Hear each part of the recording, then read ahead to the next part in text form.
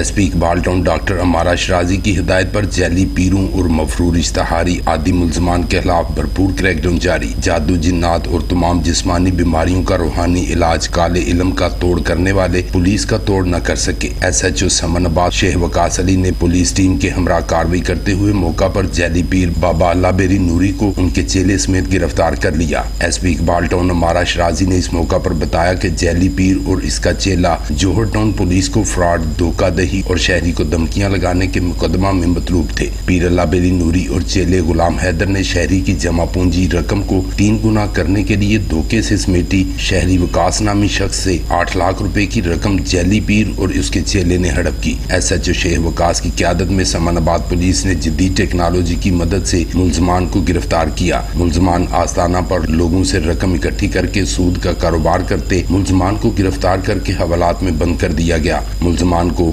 मुतलका police investigation wing के हवाला किया जाएगा। S P Iqbal Town doctor Amara Sherazi ने एस एच ओ समन आबाद शेह वकास अली और पुलिस टीम को अला कारकर्दगी पर शाबाश दी। Rashid Jatt B B one news, Lahore.